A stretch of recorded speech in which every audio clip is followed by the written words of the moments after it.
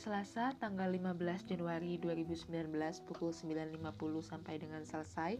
dan Kamil 1114 Cilawu, Kapten Infanteri Edi Subekti didampingi para Babinsa dan staf dipandu dengan Babinsa Desa Mangkurakyat Pertudo Nandika melayat ke kediaman Ibu Dede Rahmawati warga Desa Mangkurakyat yang terbaring sakit selama 10 bulan sampai sekarang. Ibu Dede didiagnosis menderita keratinizing squamous cell carcinoma yang telah ditangani oleh bidan desa Ibu Agni. Keluarga besar Koramil 1114